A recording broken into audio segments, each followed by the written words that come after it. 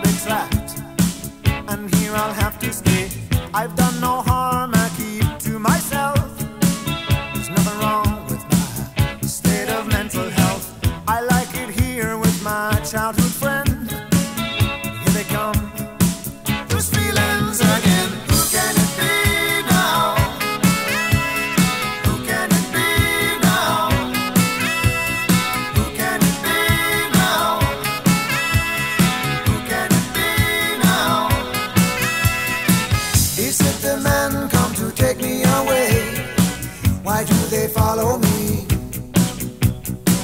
It's not the future that I can see. It's just my fantasy.